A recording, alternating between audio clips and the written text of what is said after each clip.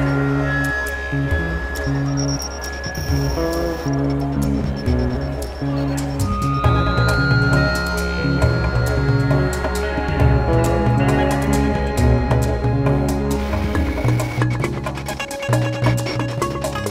ran away from the army. In Eritrea, it is just like slavery. You see, our mom and dad were about a day away from being put in jail for being communists. Go back to what, though? Can you go back home? Our family's depending on me to send money at the end of the month. This is good, but I can't sell it. What do your parents want?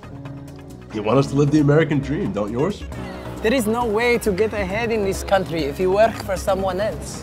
You know that. This is what I dreamed of when I was growing up. An apartment in New York City, surrounded with books and arts and culture and smart people. It would be the exact opposite of my village. Then why are you leaving? I lost my merits here.